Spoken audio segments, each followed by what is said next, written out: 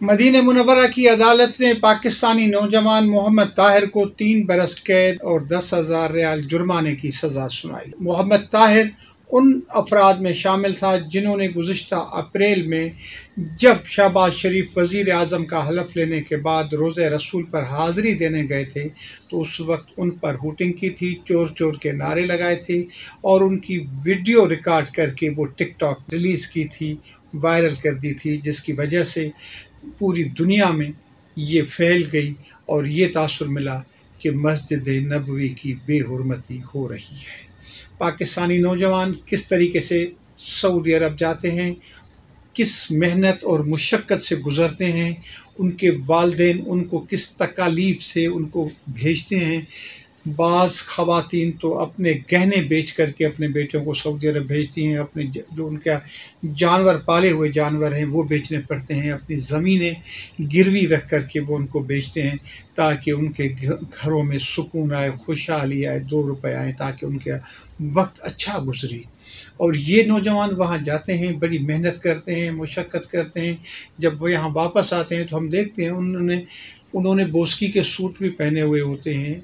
और उन्होंने राडो घड़ियाँ भी पहनी हुई होती हैं, लेकिन सऊदी अरब में जिस तकालीफ से वो गुज़र रहे होते हैं, मैं उनका आँखों देखा शायद हूँ, गवाह हूँ। वो बहुत ही मुशक्क़त के साथ अपना काम करते हैं, उनकी नींदें हराम हो जाती हैं, वो दिन रात मेहनत और मजदूरी में लगे रहते होते हैं, ताकि अपने घर वालों को पैसे भेजें, अपने दोस्तों को, अपने अहबाब को तहफ़ भेजें।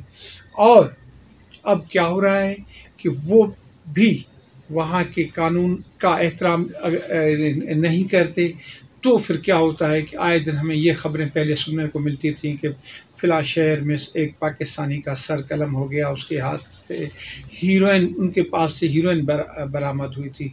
या फिर कुछ और जो गैर अखलाकी सरगर्मी में मुलविस होते हैं उनको सज़ा दी जाती है चोरी में मुलविस होते हैं। हकीकत में जो पाकिस्तानी मुल्क से बाहर रहते हैं वो पाकिस्तान के सफ़ीर होते हैं। उन्हें पाकिस्तान के वक़ार का पाकिस्तान की इज़्ज़त और एहतराम का अपने मुल्क का अपने लोगों का एहतराम करना चाहिए और जिस मुल्क में भी वो रह रहे हैं वहाँ के कानून का उन्हें एहतराम करना चाहिए।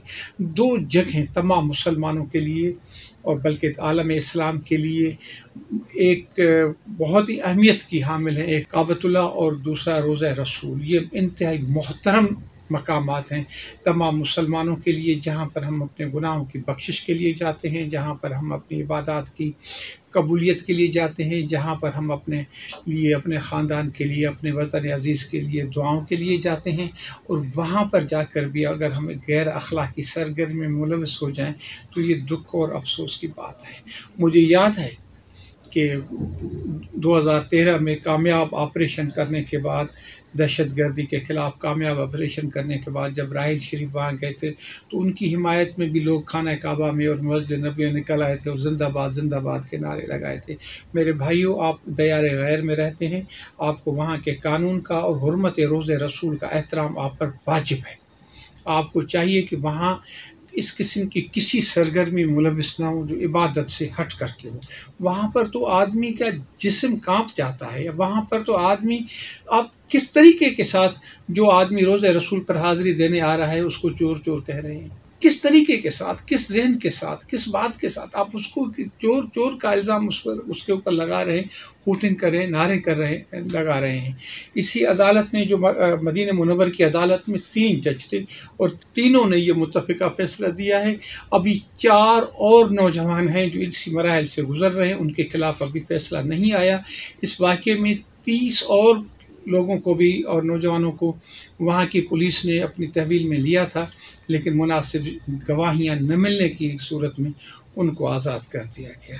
पाकिस्तान के बाहर जो नौजवान रहते हैं, उन्हें चाहिए कि अपने वतन का ख्याल रखें, अपने वतन की हरमत का ख्याल रखें और वहाँ के कानून का ख्याल रखें।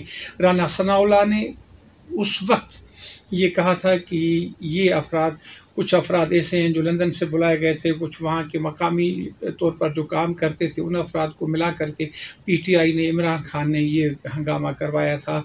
ये नाज नारे लगवाए थे और उन्होंने इस बात पर फैसलाबाद में उनके खिलाफ एक मुकदमा भी दर्ज करवाया था, लेकिन उस मुकदमे को आगे नहीं बढ़ाया गया। इसके क्या रीज़न हो सकते हैं, वो तो राना सनाउल्लाई बेहतर जानते हैं। सलीम साफ़ी ने अपने ट्वीट में कहा है कि मोहम्मद ताहिर का ताल्लुक पीटीआई से, लेकिन इसकी अभी तक कोई कंफर्मेशन उसके ख़ानदान से या उसके नहीं आई है। लेकिन जो भी हो, किसी भी जमात से ताल्लुक हो, वो आपकी अपनी बात है, अपने हद तक रहें और इन मकामात का एहतराम, आप पर, हम सब पर वाजिब है जो हमें करना चाहिए किसी को चोर चोर कहने से। अब देखिए, आप किन हालात से वहाँ गए थे? अभी मोहम्मद ताहिर साहब, आपको सज़ा हो गई है। क्या आपको यकीन है कि इमरान खान आपको छुड़ाने आएँगे? मोहम्मद बिन सलमान जो इमरान खान को अपना अच्छा दोस्त करार देते थे, इमरान खान पर वाजिब है वो अगर आप उसकी पार्टी के कारकुन हैं तो वो आपको आज़ादी के लिए आवाज़ बुलंद करे। मैं इस सिलसिले में पाकिस्तान के फॉरेन मिनिस्टर बिलावल भुट्टो जरदारी की तारीफ़ करूँगा, जिन्होंने सऊदी हुकूमत को अपील की थी कि इनको माफ़ कर दिया जाए, इनकी गलती माफ़ कर दिया जाए और इनको आज़ाद कर दिया जाए। मैं ये पाकिस्तान हुकूमत से भी तो करूँगा कि वो इस सिलसिले में आगे बढ़े और मोहम्मद ताहिर की सज़ा को ख़त्म कराने के लिए अपना रोल प्ले करें। ये जो उन पर दस हज़ार रियाल का जुर्माना लगा है, ये तकरीबन पाकिस्तानी पाँच लाख चालीस हज़ार रुपये के करीब बनते हैं। तो वो जो मेहनत मजदूरी वहाँ करने गए हैं, उनके ऊपर अगर इस किस्म के वो कहाँ से ये देगा?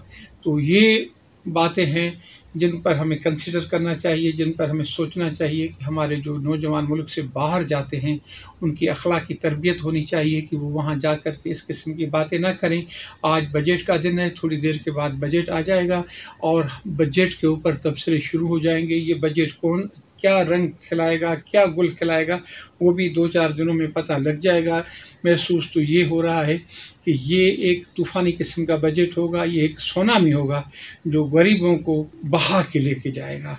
कल ही मफ्ता इसमाइल साहब ने वज़ीर ख़जाना ने यह बताया है कि पाकिस्तान में गधों की तादाद बढ़ गई है, खोतों की तादाद बढ़ गई है और पाकिस्तान में इस वक्त सत्तावन लाख से जायद गधे मौजूद हैं।